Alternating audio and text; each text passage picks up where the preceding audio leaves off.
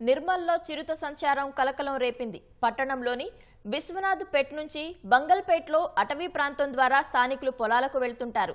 వారు వెళ్ళే ఆ మార్గంలో గత వారం రోజుల క్రితం చిరుత స్థానికులకు కనిపించిందంటూ సామాజిక మాధ్యమాల్లో వైరల్ చేశారు. తాజాగా ఆ చిరుత సంచారం నిజమని తెలిసి అక్కడి స్థానికులు అటుగా వెళ్ళే ప్రయాణికులు భయాందోళనకు గురవుతున్నారు. అది a una